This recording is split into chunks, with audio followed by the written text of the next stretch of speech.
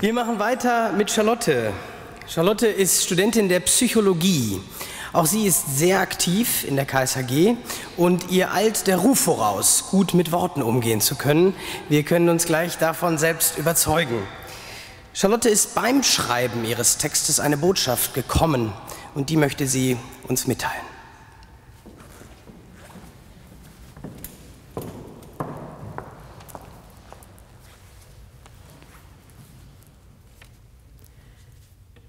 Es ist ein nicht enden wollender Streit zwischen Naturwissenschaftlern und Gläubigen. Evolution oder Schöpfung? Darwin oder die Bibel? Ich streite mich manchmal gern, werfe feurige Fragen ein, um eine ohnehin schon hitzige Debatte weiter zu entfachen. Doch in diesem Fall ist es mir ein Anliegen zu schlichten. Die Schöpfungsgeschichte ist fast 2600 Jahre alt damit ist sie mehrere Jahrhunderte älter als Aristoteles und Ptolemäus. Und schon die hatten, darüber herrscht heute weitestgehend Einigkeit, das Zentrum ihres Universums doch entschieden anders festgelegt, als es heute üblicherweise vertreten wird. Es mag auch heute noch Menschen geben, die glauben, die Welt sei in sechs Tagen entstanden und nur wenige tausend Jahre alt. Doch das sind dann wohl entweder Kinder oder Kreationisten. Sie fordern die Einführung der Schöpfungslehre im Biologieunterricht und erkennen nicht, auf naturwissenschaftlicher Ebene ist der Schöpfungs ist der in, auf, auf naturwissenschaftlicher Ebene ist der Erkenntnisstand der Bibel um Jahrtausende überholt. Wenn wir das aber akzeptieren, können wir unseren Blick öffnen für eine ganz neue Dimension der Lehre der biblischen Schöpfungsgeschichte. Wir können erkennen, was diese Geschichte über das Wunder des Lebens erzählt, über die wundersame Liebe Gottes zu seinen Geschöpfen und über die Aufgabe, die uns Menschen auf dieser Erde zuteil wird.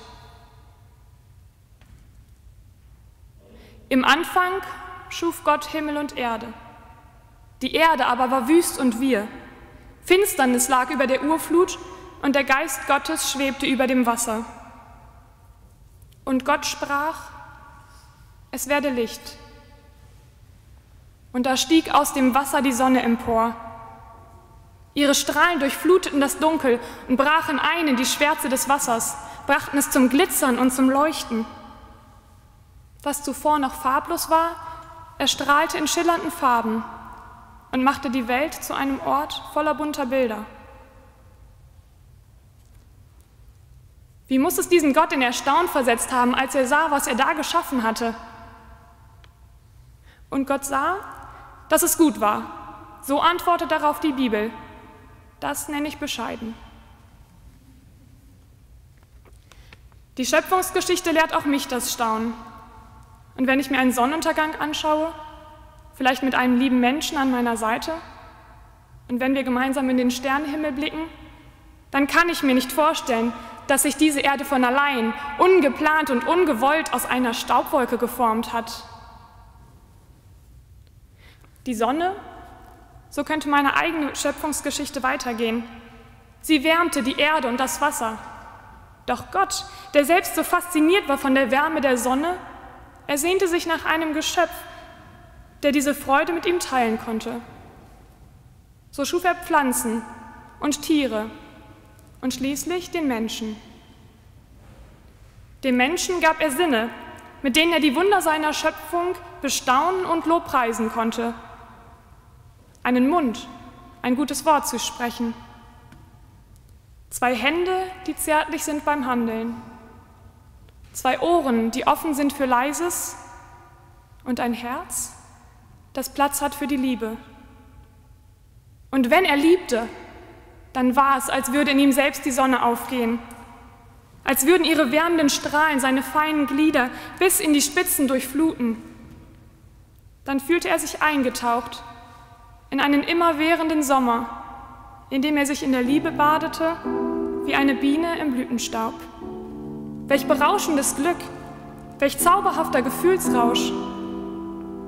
Von Ehrfurcht ergriffen stehe ich da und bin sprachlos angesichts der Harmonie und Genialität, die im Universum zum Ausdruck kommt. Und da erscheint es mir fast unmöglich, dass diese Welt nicht von einem selbstliebenden Schöpfer geschaffen wurde. Die Naturwissenschaften lehren mich Fakten. Die Schöpfungsgeschichte lehrt mich das Staunen. Und da mag es noch so viele Darwins und Richard Dawkins geben. Es wird auch weiterhin nur einen Gott geben, der diese naturwissenschaftlichen Erkenntnisse mit Leben und Sinn erfüllt.